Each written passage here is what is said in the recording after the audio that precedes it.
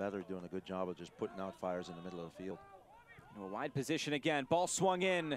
Now to the top of the box. Piggott trying to find some room to shoot. He gets one off and slips it in.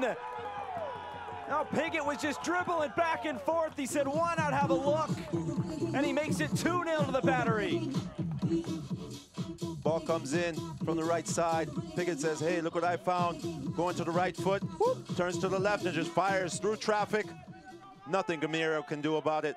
As you see the, the replay here, Piggott goes to the right, cuts it back on Rose, and there's that left foot to the right-hand corner of the goal. Charleston 2-0.